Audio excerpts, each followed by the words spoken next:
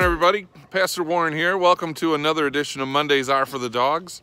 Hey, we're out in the Barrington Hills trails again and just uh, walking through the woods, uh, walking through a little sprinkle of snow today. And uh, it's really beautiful out here, even though much of the snow has kind of gone away from the rains. It's nice and quiet out here. And it's a time to remember that uh, this is a season of hope.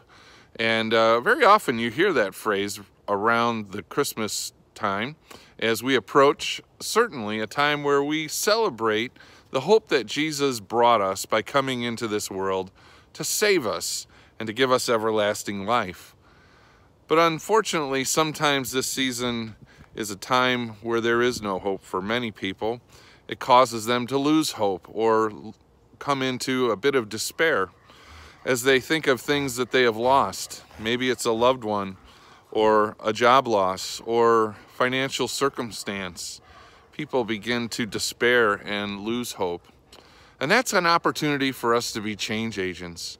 We can be people who reflect hope and help people be encouraged that by the presence of God in your life, you can have hope even in the midst of loss, in the midst of despair, and that Jesus can provide hope beyond all hopelessness.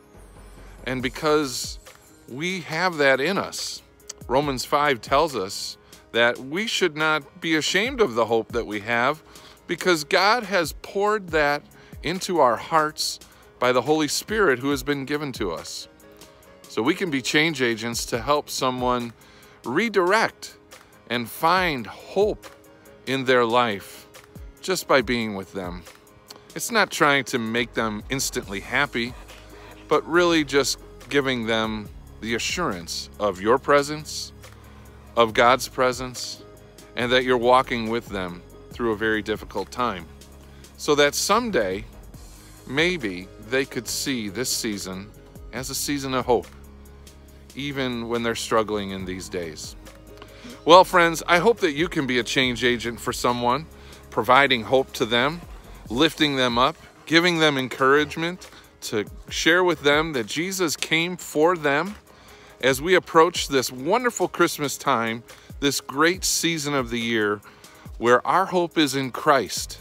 Not by any circumstance of our own do we gain hope, or not by any point in life do we gain hope, but we gain everlasting hope in Jesus, who came to be our Savior, to save us from despair and hopelessness. Well, may God bless you this day and may He give you opportunity to share the hope that you have with someone who needs it. God bless your day. See you farther down the trail. Good boy.